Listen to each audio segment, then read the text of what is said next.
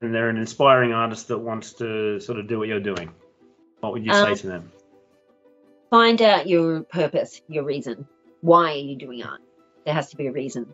Um, once you find that, nothing will kind of stop you. You'll just keep finding things pop up that um that lead you in the right direction of where you're um where you're needed. Um, and I mean, it can be the simplest thing as, as you know that you like flowers and want to show everyone how much you like flowers. Um, or it can be you know something about um, you know domestic violence or um, world issues. Um, it's uh it's just your own personal experience with um, your world and your art that will make you stand out from other people. And uh, you know, it's uh, with domestic violence as well. Uh, what do you say? Do you, is you know, are there avenues? What if they're scared? What are you gonna? You know, what's your advice? What's your advice to someone that's in this sort of situation that we've been talking about? Definitely, if you can get the support from your family or whatnot, go to them first.